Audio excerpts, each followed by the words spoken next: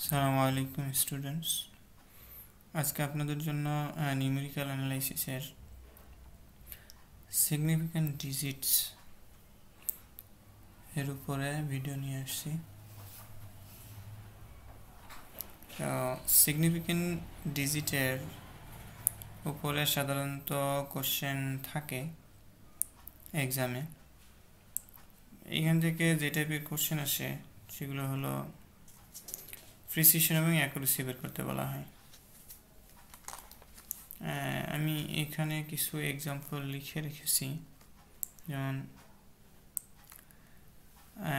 find the precision and accuracy for the following numbers তো এই ধরনের কিছু নাম্বার দেওয়া থাকে। এই যে দশমিক দিয়ে এবং দশমিক ছাড়া। তো এই নাম্বারগুলোর প্রেসিশন এবং অ্যাকুরেসি অ্যান্ড প্রেসিশন বের করতে হবে। তো অ্যাকুরেসি এবং প্রেসিশন বের করতে হলে আমাদের কিছু রুলস জানতে হয়। বেশ কিছু রুলস যা অনেকটাই কঠিন এবং মনে রাখতে হয় কষ্ট করে। তো আর এই প্রিসিশন এবং অ্যাকুরেসির মূলে রয়েছে সিগনিফিক্যান্ট ডিজিটস অ্যাকুরেসি এর অর্থ হলো যে ওই নাম্বারে কতগুলো সিগনিফিক্যান্ট ডিজিট আছে। যেমন ধরুন এই এক্সাম্পলটি এই এক্সাম্পলের মধ্যে সবগুলোর এক, দুই, তিন, চার, পাঁচ টোটাল পাঁচটা ডিজিট আছে। এর মধ্যে সবগুলোই কি সিগনিফিক্যান্ট না। যদি না হয় অ্যান্সার তাহলে কোনগুলো সিগনিফিক্যান্ট কোনগুলো সিগনিফিক্যান্ট না, এইটা বের করতে হবে। তো এর জন্য আমাদের সিগনিফিক্যান্ট ডিজিট কোনগুলো? এর জন্য কিছু রুলস আছে রুলসগুলো শিখতে হবে। আর প্রেসিশন এটা খুব সহজ, তো আমি এক্সাম্পলের শেষেই সিগনিফিক্যান্ট ডিজিট শেখার পরেই প্রেসিশনের ব্যাপারে বলব। তো যেহেতু ডেসিমেল নাম্বারের উপরে সিগনিফিক্যান্ট ডিজিট বের করতে বলা হয় বা অ্যাকুরেসি বের করতে বলা হয়, তো আমি এখানে কিছু এক্সাম্পল লিখে রেখেছি। তো ডেসিমেল নাম্বারে কতগুলো ডিজিট থাকে? Zero one two three four five six seven eight and nine তো এই টোটাল দশটা ডিজিটের মধ্যে যদি বলি সিগনিফিকেন্ট ডিজিট সিগনিফিক্যান্ট ডিজিটস কোনগুলো? তো সিগনিফিক্যান্ট ডিজিট কোনগুলো যদি বলি, তাহলে প্রথমেই আমাদেরকে এই দশটা ডিজিটকে দুই ভাগে ভাগ করতে পারি আমরা। এই একটা হলো জিরো আর একটা হলো নন জিরো তো নন জিরো সবগুলোই কি? সিগনিফিক্যান্ট ডিজিট আমি সংক্ষেপে লিখলাম এটাকে এসডি ওকে সিগনিফিক্যান্ট ডিজিট তো নাম্বারে যদি নন জিরো যত ডিজিট থাকবে সবগুলোই সিগনিফিক্যান্ট যেমন ধরুন এই এক্সাম্পলে এইখানে টোটাল নন জিরো ডিজিট কোনগুলো আছে? এই ওয়ান টু ফাইভ তার মানে তিনটা। এখন জিরো সিগনিফিক্যান্ট কি না, আমরা এখনও জানি না। ওকে তো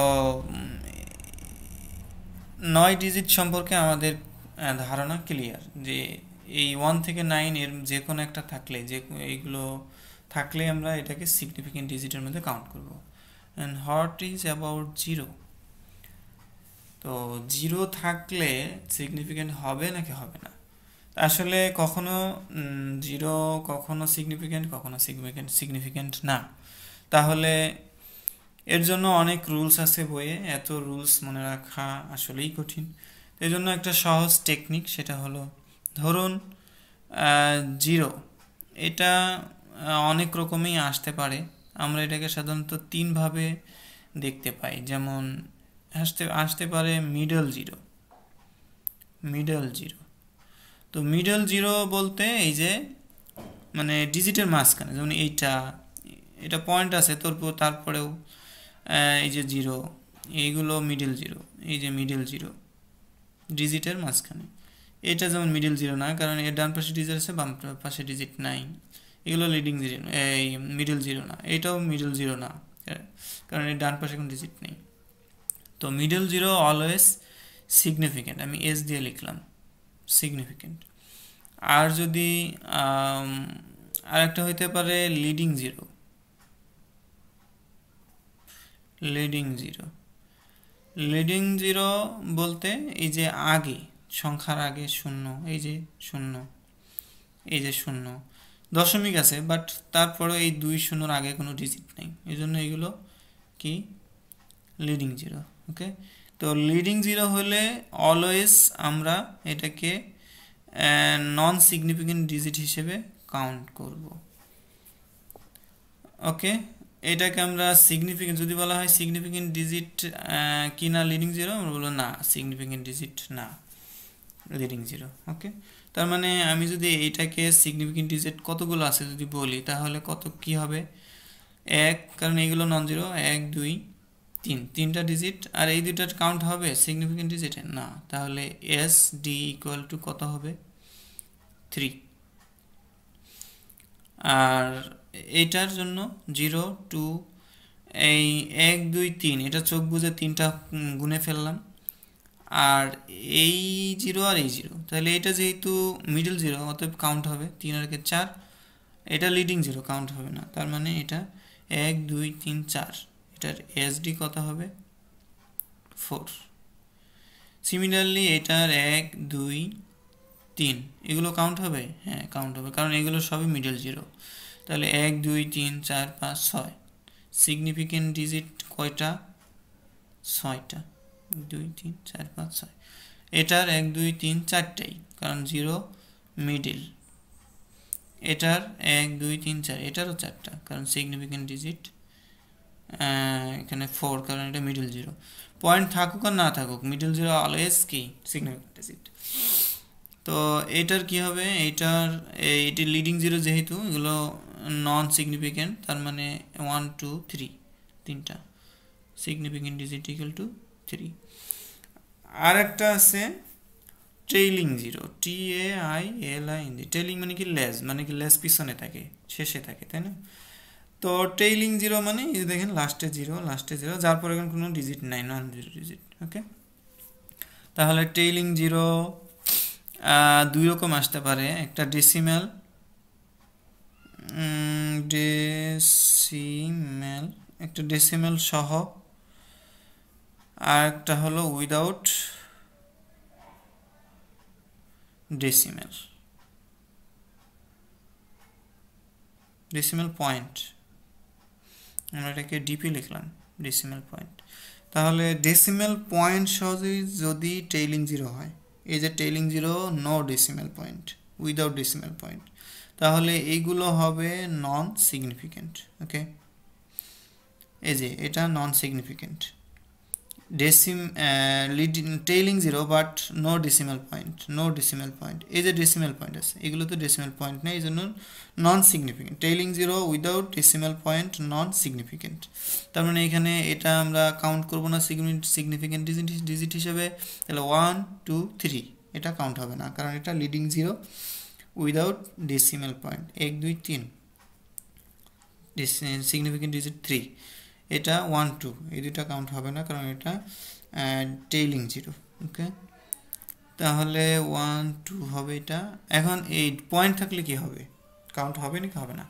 অবশ্যই কাউন্ট হবে। এটা significant digit S okay decimal point সহ যদি টেলিং জিরো থাকে, তাহলে সিগনিফিক্যান্ট ডিজিট তার মানে ডেসিমেল পয়েন্ট আছে জিরো কাউন্ট হবে। এক, দুই, তিন, চার। তার মানে এটা সিগনিফিক্যান্ট ডিজিট কত? ফোর আমি কখনো এসডি লিখেছি, কখনো লিখি নাই। জাস্ট ডোন্ট কনফিউজ আর এটাও কী হবে যেহেতু ডেসিমাল পয়েন্ট আছে, তো অবশ্যই কাউন্ট হবে। যেহেতু টেলিং জিরো এবং ডেসিমাল পয়েন্ট আছে। এক, দুই, তিন, চার। চার, এটা এক, দুই, তিন, চার, পাঁচটা। ডেসিমাল পয়েন্ট থাকলে আমার ট্রেলিং জিরো সিগনিফিকেন্ট ডিজিট হিসেবে কাউন্ট হবে। ওকে আমরা কিছু এক্সাম্পল প্র্যাকটিস করি। যেমন এটার জন্য সিগনিফিকেন্ট ডিজিট কত হবে? তো প্রথমেই নন জিরোগুলো কাউন্ট করি। এক, দুই, তিন, চার।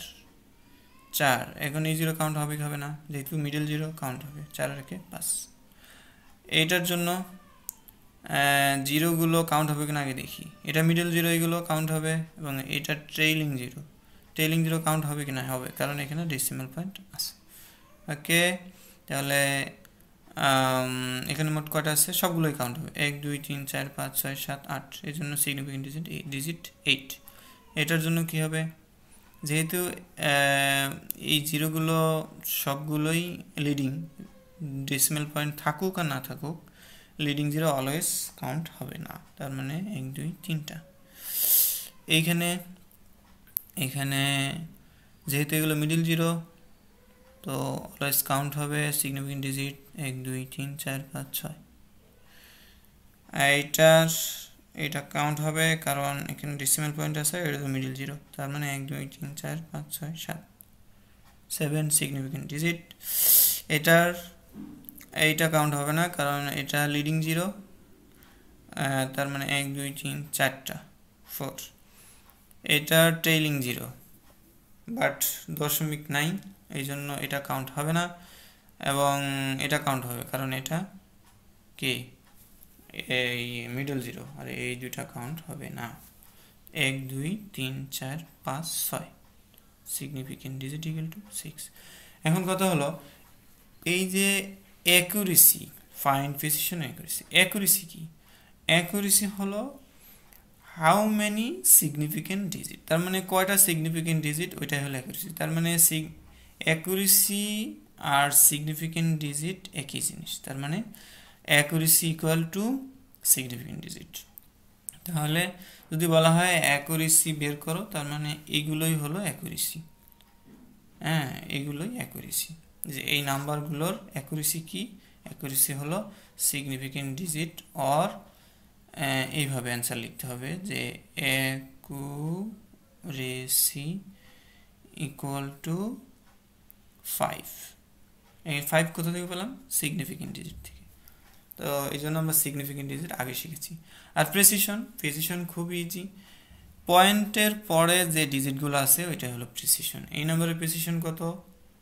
এই নাম্বারের প্রেসিশন ইকুয়াল টু টু কারণ পয়েন্টের পরে কটা এক, দুই টু ডিজিট এইখানে এটার প্রেসিশন কত? এক, দুই, তিন, চারটা, চার। এটার প্রেসিশন এক, দুই, তিন, চার। পি ইকুয়াল টু ফোর এইটার প্রেসিশন টু এই যে এক, দুই পি ইকুয়াল টু টু এটার প্রেসিশন এক, দুই, তিনটা। পি ইকুয়াল টু থ্রি এটার প্রেসিশন এটার প্রেসিশন যেহেতু পয়েন্ট নাইন প্রেসিশন থেকে আসবে? এই জন্য লিখতে হবে আনডিফাইন্ড আনডিফাইন্ড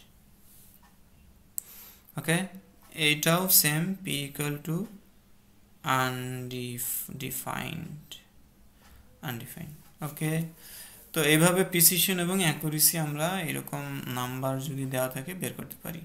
এক্সামে বরাবরই আসে, সাধারণত আসে। তো আশা করি এই প্রেসিশন এবং অ্যাকুরেসি নিয়ে আর কোনো প্রবলেম হবে না। তো এই, এইটুকু যদি আমরা মনে রাখতে পারি, আসলে মনে রাখার কিছু না। All non digit always non zero ডিজিটগুলো always significant digit হবে। আর জিরো নিয়ে কনফিউশন তো জিরো তিনভাবে আসতে পারে মিডল তো মিডল অলওয়েজ সিগনিফিকেন্ট আর যদি আরেকটা আসতে পারলে আগে মানে লিডিং লিডিং কখনোই সিগনিফিকেন্ট না দশমিক থাক আর না থাক দশমিক সংখ্যার জন্য না দশমিক ছাড়ার জন্য না। টেলিং জিরো টেলিং জিরো শুধুমাত্র এইটুকুই মনে রাখার ব্যাপার যে যদি শেষে থাকে জিরো তাহলে জিরোটা কাউন্ট করব নাকি করব না? শেষে থাকলে এতটুকু যে এটা যদি ইন্টিজার নাম্বার হয় তাহলে কাউন্ট করব না এইগুলো কাউন্ট করব না এই যে। কাউন্ট করব না। আর যদি দশমিক সংখ্যা হয়, তাহলে কাউন্ট করব। এই যে কাউন্ট করছি ওয়ান টু থ্রি ফোর এই যে ফোর কারণ এটা দশমিক সংখ্যা। Okay thank you